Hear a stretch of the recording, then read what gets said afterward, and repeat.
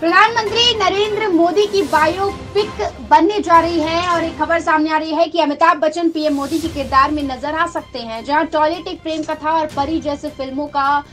Produce कर चुकी प्रेरणा अरोड़ा जल्द ही प्रधानमंत्री नरेंद्र मोदी पर बायोपिक की प्लानिंग कर रही है। एक रिपोर्ट के मुताबिक प्रेरणा इसीलिए पीएम मोदी पर फ़िल्म बनाना चाहती है कि वो क्योंकि वो भारत के सबसे अधिक डायनामिक हैंडसम और योग्य व्यक्ति है और वो इससे और बड़े हीरो के बारे में सोच नहीं सकती।